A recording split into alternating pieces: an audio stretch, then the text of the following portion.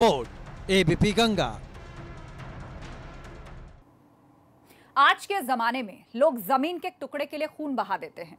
यह मामला सात हज़ार वर्ग गज का था तो ज़ाहिर है उसके लिए साजिश भी बड़ी होगी।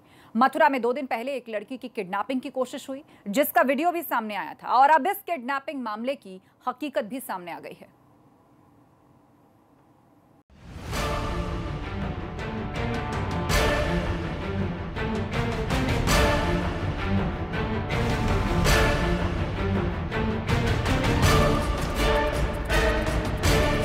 तारीख 13 अक्टूबर, वक्त, शाम करीब साढ़े पाँच बजे। जगह, हाईवे थाना क्षेत्र मथुरा। किडनैपिंग की खबर के साथ 13 अक्टूबर की शाम को, जब यह वीडियो सामने आया तो हड़कंप मच गया। सनसनी न केवल मथुरा ज़िले के लिए थी, बल्कि जिसने भी इस वीडियो को देखा, वो सन्न रह गया। क्योंकि इस वीडियो में कुछ युवक एक लड़की को ज़बरदस्ती ले जाते दिख रहे हैं, और फिर उसके साथ ज़ोर ज़बरदस्ती करने की कोशिश भी करते दिख रहे हैं।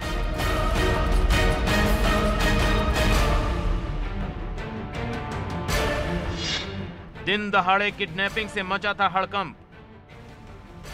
क्या है किडनैपिंग की वारदात का सच? खबर थी कि प्रॉपर्टी डीलर के यहाँ काम करने वाली लड़की जब ग्राहक को प्लॉट दिखाने पहुँची थी तो उसे कुछ मंचलों और दबंगों ने खींच लिया। इतना ही नहीं, उसके साथ दुष्कर्म की कोशिश भी की गई और साथ में मौजूद ग्राहक को भी उठाकर युवक अलग ले गए। वायरल वीडियो में ग्राहक को ले जाते हुए भी देखा जा सकता था और ये बयान खुद तस्वीरों में दिख रही लड़की ने दिए थे।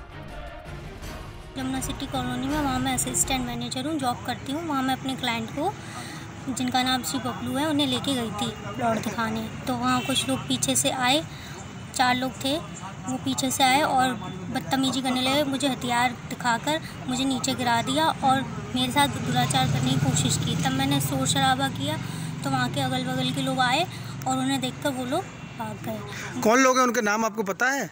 जी मैं उन्हें नहीं जानती। उनका मुँह कवर था। लड़की से लेकर वीडियो बनाने वाले निकले फर्जी। किडनैपिंग की पूरी वारदात थी एक साजिश। मथुरा के हाईवे थाना क्षेत्र की पुलिस ने इस वारदात को चुनौती के रूप में लिया और तफ्तीश शुरू कर दी। तफ्तीश में जो हकीकत निकल कर आई, उसने सभी के होश उड़ा दिए।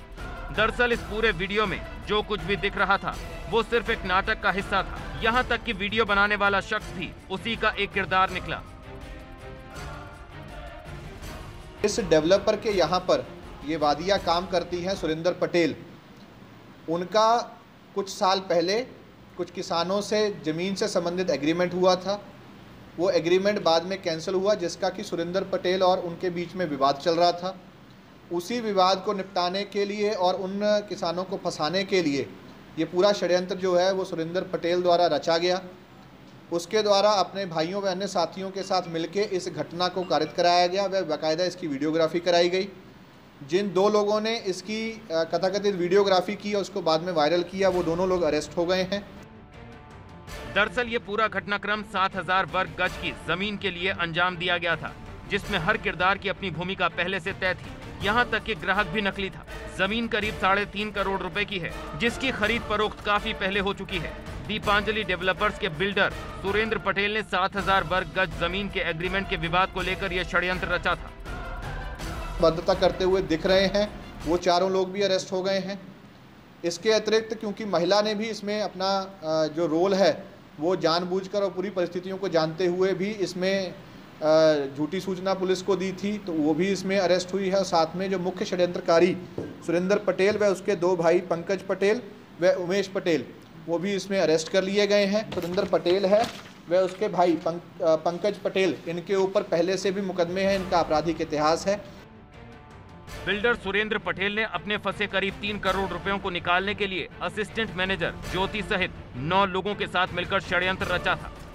पुलिस ने इस पूरे मामले में आरोपी लड़की ज्योति सहित दस लोगों की गिरफ्तारी की है। मथुरा से ऋषि गुप्ता एबीपी गंगा।